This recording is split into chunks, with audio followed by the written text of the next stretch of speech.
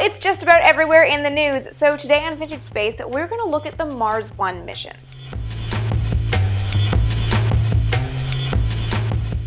Mars One is a Dutch not-for-profit company hoping to colonize Mars with a series of one-way missions.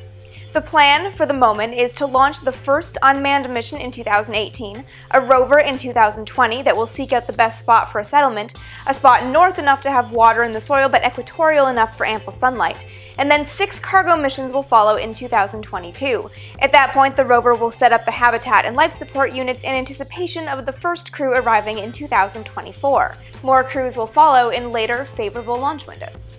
It's not quite the same, but the Apollo program gives us a pretty good benchmark for discussing Mars One, and really a lot of the potential problems boil down to funding. Mars One says that it can send its first crew to the Red Planet for just $6 billion, and having done it the first time, subsequent flights will only cost 4 billion. That is an absolute shoestring budget.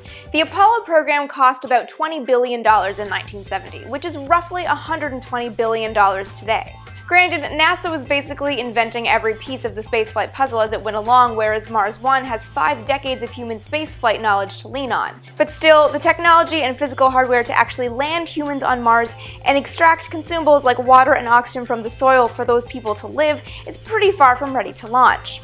And the funding model for Mars One is kind of questionable if we again use Apollo as a benchmark.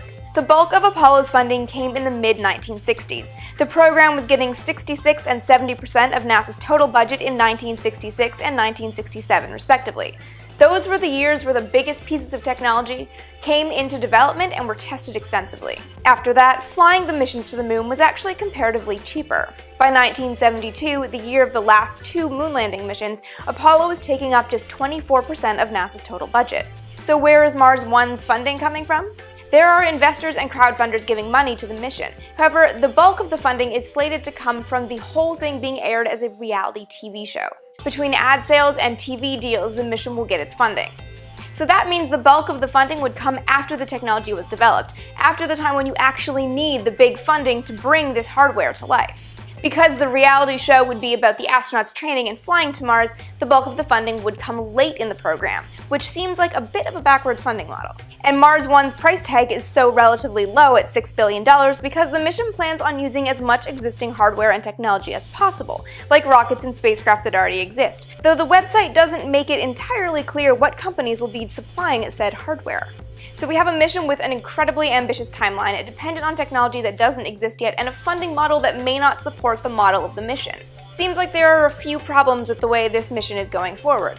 But then again, it is a private mission, so it's possible that Mars One is developing all this technology and the public just doesn't know about it. But we'll have to wait and see. The best thing about Mars One might be that it's getting people thinking and talking about interplanetary travel.